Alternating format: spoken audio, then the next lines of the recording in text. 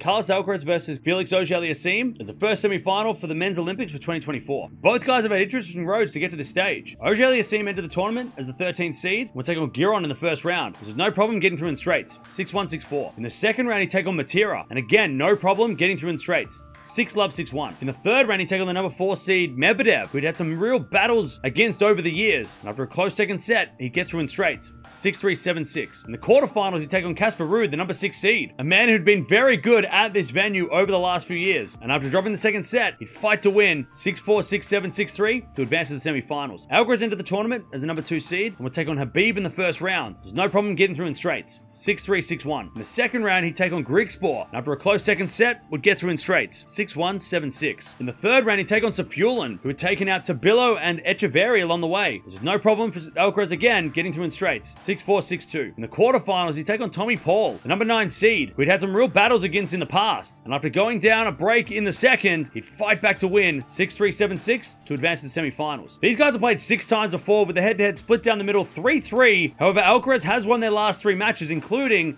a match at this year's French Open in the fourth round where he got through in straight sets, but Auger-Aliassime in that match was injured. It's a little bit hard to judge if Auger-Aliassime is going to play like that in this match that he's healthy. If FAA is going to win this one, he's going to have to be aggressive and use variety because we know that's what Alcaraz does so well on the clay and just in general. So he's going to have to do that a little bit himself. He is a bit more of a defensive type player, it seems, especially on the clay courts. Maybe that Uncle Tony influence. He's got to kind of throw that at the window when he plays Alcaraz. Otherwise, Alcaraz is going to chew him up. Is going to win this one, just do what he was doing a couple of months ago at the French Open. He's also won this year at Indian Wells. So two slow courts and both going to Alcaraz in straight sets. So he's just got to play that game that got him those two wins. And again, be aggressive, do all those things that he does to get these wins. Really interesting matchup. Of course, FAA was up 3 love in this head-to-head until recent times. But I have to go with Alcaraz in this one in three sets. I think Felix will get a set, maybe sneak the first set out. But I just think Alcaraz at this court, on this court, on the clay, is just so, so good. And he's going to make the final of the Olympics. But let me know in the comments below. Who do you think's making the final?